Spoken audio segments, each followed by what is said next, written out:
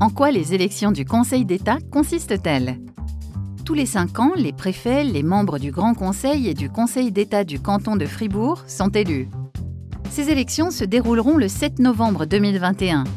Contribue à l'avenir de ton canton et décide de ce qui est important en votant pour les candidates et candidats de ton choix. Que fait le Conseil d'État? Le Conseil d'État est le gouvernement du canton. Il est composé de sept membres. Il détient le pouvoir exécutif. Il planifie et coordonne les activités de l'État en application des options politiques définies par le Grand Conseil qui représente le pouvoir législatif.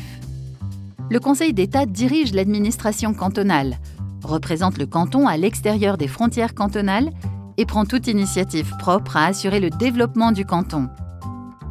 Comment choisit-on le Conseil d'État? L'élection du Conseil d'État se fait selon le système majoritaire.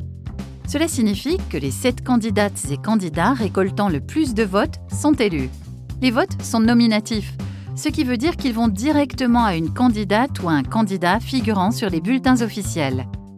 Chaque électrice ou électeur dispose de sept voix. Les règles sont simples. Il n'est pas obligatoire d'utiliser ces sept voix.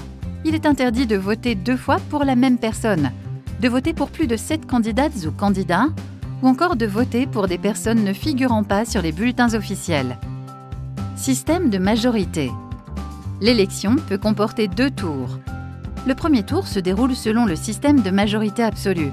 Il faut donc avoir plus de la moitié du nombre total de votes pour être élu directement. Un deuxième tour peut être nécessaire.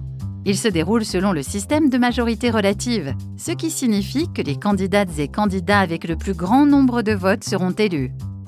Prends part à l'avenir du canton. Renseigne-toi sur les candidates et candidats et participe à l'élection du Conseil d'État fribourgeois le 7 novembre 2021. Tu trouves plus d'informations sur www.fr.ch/élections.